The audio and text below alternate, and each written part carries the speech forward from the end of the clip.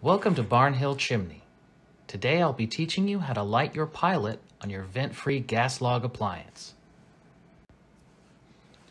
Your logs may look different from these, but the burner is the same, so the pilot lighting process will be the same regardless of the style of logs.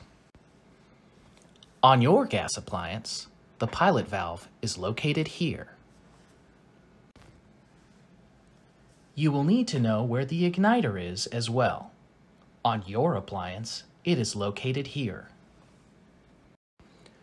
The pilot knob, located here, is what you will use to light the pilot. To light the pilot, simply turn the knob to the pilot position. It should look like this.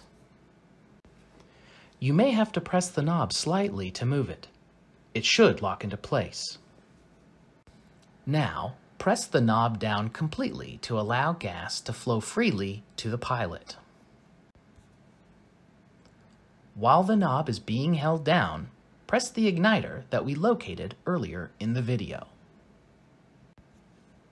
The spark caused by the igniter should ignite the gas and your pilot should be lit. Continue to hold the knob down to allow the thermocouple to be charged by the flame. This can take up to 10 seconds. The final step is to turn the knob to the on position. It should look like this.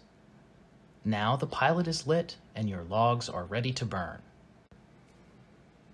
And that is how you light the pilot on your particular appliance. If you have any questions, please reach out to us through the number on your screen. And thank you for choosing Barnhill Chimney.